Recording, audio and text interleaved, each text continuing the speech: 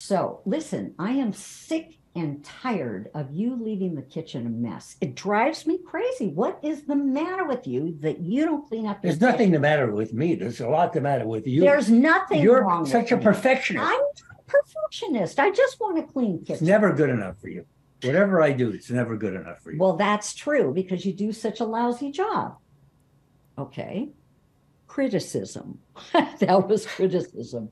Now, let's do it the right way. Okay.